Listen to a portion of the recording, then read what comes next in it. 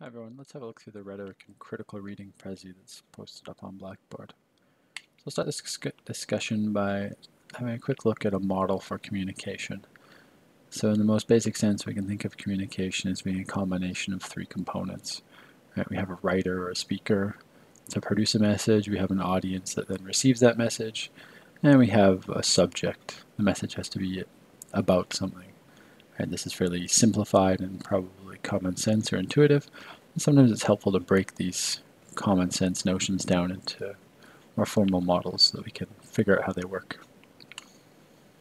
Related to that, we have three different rhetorical strategies, ethos, pathos, and logos. Now, when we're discussing rhetorical strategies, what we're talking about is the study of the art of persuasion. So how do we persuade people? How are we being persuaded as an audience? If we're a speaker, how do we persuade our audience? If we're an audience, how are we persuaded by a speaker or writer? This doesn't have to be persuasion in the explicit sense of trying to convince someone uh, to follow you or convince someone to vote in a certain way or convince someone to uh, buy a certain product. Uh, almost everything we do and almost everything we say uh, has some component of rhetoric connected to it, whether that's ethos, pathos, or logos. Uh, so it's important to remember the connection between rhetoric and persuasion. When you're studying rhetoric, what you're, what you're doing is studying how persuasion works. And the three most basic forms of rhetoric, ethos, pathos, and logos, have, have a long history. Our statue in the middle is Aristotle, and Aristotle formalized or formulated uh, these three different rhetorical strategies. So ethos, ethos-based appeals are focus on the character or the expertise or the authority of the writer or the speaker. Pathos-based appeals are rooted in the beliefs or the values or the emotions of the audience, and logos appeals Logos-based appeals are based on the logic or the reasoning or the evidence related to the subject. So how do we establish ourselves as a credible source of information, a credible author? Uh, we conduct research, we acknowledge opposition, uh, we work to spell everything right, to be clear and accurate, uh, but we also work to present our appearance in such a way that we, we look like an authority figure or that our essay or our assignment looks like it's providing the correct answers. So ethos-based appeals are rooted in the authority or the character of the writer. Pathos-based appeals are rooted in the emotional response of the audience. In this class, the most obvious audience is me as the instructor, but in many other situations, you'll have other types of audiences. Your peers or your coworkers, maybe you'll be writing for your bosses, or maybe you have community partners, uh, or in some cases, especially using social media and online platforms, uh, the public can actually end up being your audience. So as a, as a writer, how are you manipulating your audience's emotions to convince them to follow you, to persuade them? And finally, logos. Logos-based appeals are, again, rooted, rooted in the subject. These are connected to uh, the focus of, this, of the communication, the focus of an essay, for example. Uh, also the support for it, the facts, the figures, uh, the organization, the evidence provided, also the words that are used. You'll use different words when writing an email to a friend than you'd use in an academic paper. You'd use different words when writing a children's story than you would a story for adults. As Aristotle says, the speech itself, insofar as it proves or seems to prove the thing. So we can take our three rhetorical strategies, ethos, pathos, and logos, and map them onto that previous model of writer, speaker, uh, audience, and subject. Right? This simple model of communication, we can use that nice little triangle diagram uh, to help keep track of ethos, pathos, and logos. Ethos related to the speaker, the authority of the speaker, pathos rooted in the emotional response of the audience, and logos connected to the subject that's being discussed, how it's discussed, and what evidence is presented. When we're starting to think about persuasion and how we persuade our readers, we also need to think carefully about how, when we're reading, texts are working on us to persuade us. And so when we start pulling apart texts to figure out how they're working, we undertake a series of steps that are loosely described as critical reading. I like to summarize this maybe as asking questions about what you're reading. Some of the questions might include, where did the text come from? Who produced the text? Uh, who was the author of the thing? Can we trust that author? Is that author an authority figure? What does the text actually say? Is the logic of it sound? What kind of evidence is presented? Can you trust the writer or the speaker? Uh, in fictional texts, often the speaker, the character, is different from the writer, and so sometimes you need to discern whether or not the voice of the speaker can be trusted. Can this be voice of the writer be trusted in a academic text? Again, who is this person and why are they writing? Does it does the text effectively use evidence? A lot of the material we'll look at this semester focuses on the effective use of evidence. And I'll be looking carefully at your assignments and how you effectively use evidence to convince your audience that your arguments are, are true and to be persuasive. And last, you might ask yourself, how does the text work? Uh, not only how does it kind of function and how does it hold together, but perhaps more importantly, how does it work on you as a reader? Is it playing on your emotions to help persuade you? Is it focused on a, a logical appeal? Is it rooted in logic? Uh, are you being asked to believe it because of who the author is, who the speaker is, uh, who the voice is that's telling you to believe it, to follow it? Some really concrete strategies for critical reading and our textbook for this class is called Becoming an Active Reader. Despite what the cover suggests, that means more than just running around with your books or doing jumping jacks while holding your books or something. So some concrete strategies for actually critical, undertaking critical reading or reading actively to write in your books. This this can sometimes be difficult. We're used to being taught not to write in books or treat books with a certain level of, of respect. And well, of course, that's true. When you're consuming these books as students, it's important that you you mark them up, you write in them. Uh, write down notes, underline things you don't understand, highlight things you think are important. It's also important to look things up. Right? If you don't understand the words you're reading, then make sure you look them up. Make connections between chapters, between readings, between the course materials you're being asked to read and the assignments for the course. Also read and then reread and reevaluate. Uh, your opinion often changes across the course of a text. So it can be really instructive to reread material. I sometimes feel like the only time you're actually in any kind of position to start reading something is once you've already read it. It's sometimes useful to write summaries or responses to something if you're really struggling to figure out what's going on in a text. Try writing a summary of it or try writing a response to it, as you'll be doing with the peers' presentations. Look for fallacies of logic or emotion or language. So is the are the rhetorical strategies breaking down? Is it not convincing you? If there are visual elements of the text, are there visual fallacies at work? It can be really easy to mislead people using, using charts or images. Uh, and also ask yourself, how is the author, the speaker, using the rhetorical strategies to persuade the reader, to persuade you?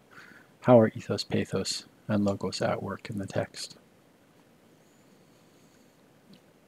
Off to the side there, there's a little video clip from Braveheart that someone put together. Uh, I can send a link. To, I can post a link to this on on the course Blackboard, but it doesn't really work for the Prezi, so for recording it. Uh, but it's a nice little video that runs through some of these different rhetorical strategies actually at work. Instead of that, let's have a look at some examples of ethos, pathos, and logos used in advertising. We're all familiar with these kind of ads. We see them all the time. The first one suggests that in order to keep your family safe, in order to keep children from being hurt, you need to have Michelin tires. Michelin because so much is riding on your tires. Even your kids are riding on your tires. There's no logical or inherent connection between babies and tires, um, but the ad is making making us think that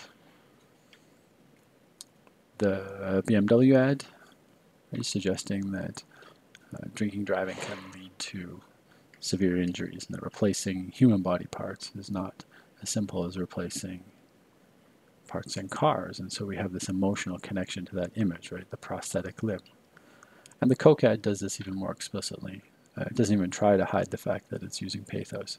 It's open a Coke, open happiness, as if Coke and happiness are the same thing. We see we see pathos used in advertising all the time, and it's often uh, done really effectively. Here are some examples of logos used in advertising. So facts and statistics being presented uh, in advertising. For example, in this ad for uh, Dole juice, we have some quick stats, 120 calories, 100% juice, 100% vitamin C. Or we tend to believe statistical evidence, and so this is being presented here as an appeal to our logic. These are good reasons, good logical reasons for consuming this juice. Another example from the vitamin water ad. Uh, these are the statistics related with Kobe Bryant's career of three championships and counting. Apparently he's consumed 1,845 bottles of vitamin water. I suspect that's not really true. Uh, and has won one MVP award at this point. We also get these nice statistics, 20 more than 20,000 physicians uh, say Lucky Strikes. It's obviously a slightly older ad.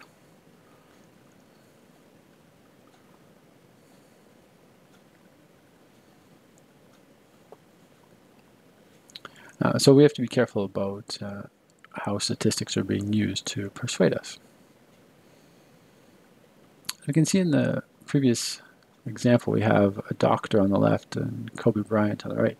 So we can see that this is actually starting to incorporate other strategies as well. So not only do we have the statistical evidence and the facts that are being presented to us, right, the logo-based appeals, but we also have an authority figure in the doctor and a celebrity in the figure of Kobe Bryant. And so we start to see a whole other type of rhetorical strategy uh, at work here. This is the ethos-based strategy. So ethos in advertising is used all the time. Here we have a someone who's recommending a certain type of toothpaste to us. Uh, she's recommending it quite a lot. And we believe this person because she's wearing, she matches the appearance of a doctor. She's wearing a, a doctor's coat or a lab coat. Uh, and it tells us there, Dr. Alexander Smith, a dentist in Chicago. We also get words like expert and plus. Right? We know to trust this person because they're an authority on the subject. Similarly, we need to we know to trust David Beckham uh, because he's an authority on being incredibly cool, and so we should drink Pepsi in order to be incredibly cool, like David Beckham. But there's no logical connection between Beckham and Pepsi. As an athlete, he probably drank actually very little Pepsi, uh, but the authority that he carries as a cultural figure is what's convincing us that drinking Pepsi is good. In the same way that the authority a doctor has is convincing us that we should use Sensodyne toothpaste. Similarly, of course, if we want to be as amazing as James Bond, we need to have an Omega watch. James Bond is the authority on being cool, much like David Beckham, and we can only hope to reach that state if we have an Omega watch. Let's have a look at a few examples. These are taken from some of the texts you might we might actually read this semester. Linford Christie, who served a two-year ban, drug ban from athletics competition, said that athletics is so corrupt now, I wouldn't want my child doing it. So which of the three rhetorical strategies, ethos, pathos, or logos, is most dominant in this quote?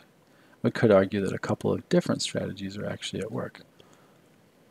For me, because of who Linford Christie is, a former sprinter, this quote is based most in ethos.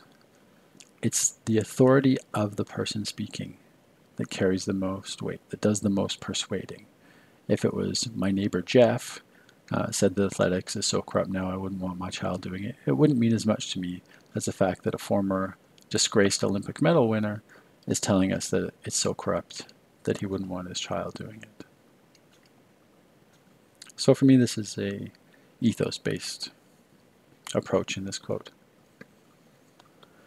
Coding isn't some niche, niche skill, it really is the new literacy. It's the essential 21st century skill that every ambitious person needs to learn if they want to succeed. Don't believe me, just look at the legal profession. Software is turning it inside out and causing mass unemployment for the lawyers who can't code. For me, this actually contains a couple of different rhetorical strategies at the same time.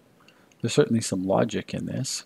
It's telling us to look at the legal profession and saying if lawyers can't get jobs, then what chance do we have of getting a job? There's kind of a logical uh, persuasion technique at work here. We tend to hold lawyers in fairly high esteem, and so the suggestion that they can't get jobs because they can't code should be somewhat bothersome to us if we're not lawyers yet, or we don't have quite as high a position in society. So the logical conclusion we should make is that we should also learn how to code. So there's definitely a logos-based appeal at work in this passage. I think there's also an e a pathos-based appeal here as well. Uh, this don't believe me question, it's almost like a, a challenge to us uh, or a threat maybe, or a uh, we're building some kind of connection to the speaker of this when we're being addressed directly through the through the me. So I think there's kind of a pathos-based appeal at work in this as well, in addition to the logos-based appeal. Just yesterday, it was the City of Victoria. Maxine Davis, Executive Director of the Dr. Peter AIDS Foundation, told Maclean's. So even if we don't know who Maxine Davis is, and I don't know who she is, we're being told here that she's the executive director of the Dr. Peter AIDS Foundation. That means in this situation, she probably knows more about this topic than we do, and so we trust her because of her authority. Now, of course, we don't just trust people blindly because they're authority figures, but that's the strategy that's being used here in this writing. We're being told who she is and the position she occupies as a way of convincing us to believe her. Also, we might recognize Maclean's as a fairly high-profile Canadian publication, and so we recognize that as a, an authority as a publisher or as a publishing platform. In the six months following the disaster, more than 4.3 million families received food assistance and more than 900,000 vaccinations of children and adults were carried out. For me, this is mostly a logos-based appeal, or a logos-based rhetorical strategy at work. We have some statistics here that are being used to provide evidence of the topic under discussion. There's not a lot of inflated language here to appeal to our emotion, emotions, so I wouldn't say that it's pathos-based. And we also don't even know who the speaker is. So the authority of the speaker is not really in question. We don't know who that is, so we can't determine whether or not we believe this material based on the speaker. So I would say that this is mostly based in, almost exclusively based in logos. Pathos and ethos aren't really a consideration. Now, if the quote had said something like, in the six months following the disaster, more than 4.3 uh, destitute and hungry families received vital food assistance and more than 900,000 necessary vaccinations of you know, adorable children with enormous dimples uh, and adults who were sad and weeping in the street were carried out, then we could see that as an appeal based on our emotional response, right? A pathos-based appeal. Program or be programmed. Again, this one contains what I think are a couple of different rhetorical strategies that work. There's a certain logic to this, program or be programmed. Uh, but again, so it falls within the uh, logos-based appeal. But there's also a certain emotional response we have to this. It sounds kind of like a threat in a way. Uh, and so we might respond to that emotionally. And so there's a pathos-based rhetorical strategy being used as well, I might argue. This is simply a part of a mathematical proof. This is an entirely logic-based example we may not know what's actually going on in this, I certainly don't. Um, but the assumption is that math is rooted in logic, and so this is an entirely logos-based appeal. We're convinced of this because of the logic of the thing. We don't know who the author is, so it's not ethos-based. We have no emotional connection to this, unless you're, unless you're particularly emo emotionally connected to x minus y, which seems to feature a lot. Um, but you're probably not. So it's, I'd say entirely a logos-based argument being made here.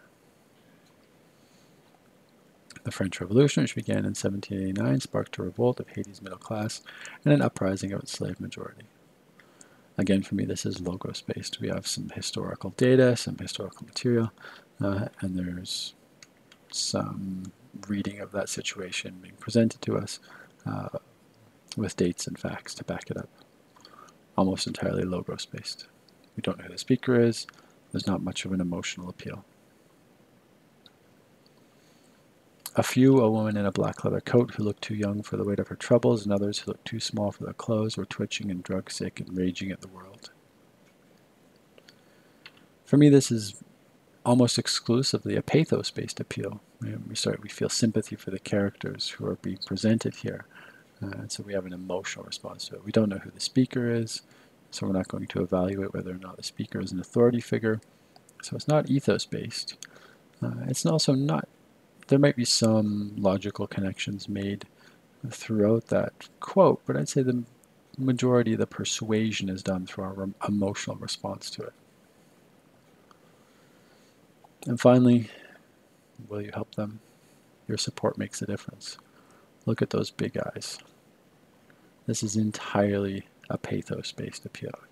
Our emotions are being manipulated by this puppy, and the message is your support. Your money makes a difference, so please donate to help save this puppy. So as you start working through some of our active reading exercises and when start thinking about your own composition processes, it's important to think about the ways that ethos, pathos, and logos feature. When we start to think about how to analyze texts and pull them apart, I want you thinking carefully about how these three specific rhetorical strategies are at work how they're at work to persuade the audience, how they're at work to convince you to follow the argument that's being made.